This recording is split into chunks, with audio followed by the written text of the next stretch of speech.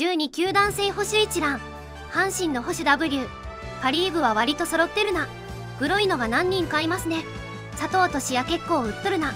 梅野が地味にやばいな。保守が出れば簡単に勝てるよな。うちの正捕手は誠司さんなんだが。やっぱプレミアはタミヤで決定やね。阪神は若手の保守おらんの？梅坂のどちらかを第3保守にしないとまずいやろ。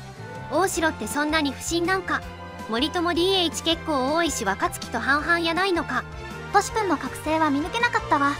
セ・リーグこのままいったら山本がベストナイン取るかもな。広島は相沢正捕手にしたらもっと勝てそう。タミヤ君は高卒なんか？どこ？打てるホストかい牛を。結局坂倉辞めた途端に勝ってるよね。新井も結局ファースト坂倉と貸し出すしかわんねえな。ホームラン30発打てる星やないと打てるホストは言えんよな。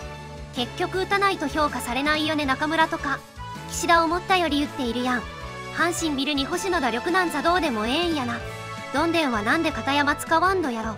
阪神は坂本もリード研究されてきたのか言うほど勝てなくなったしな。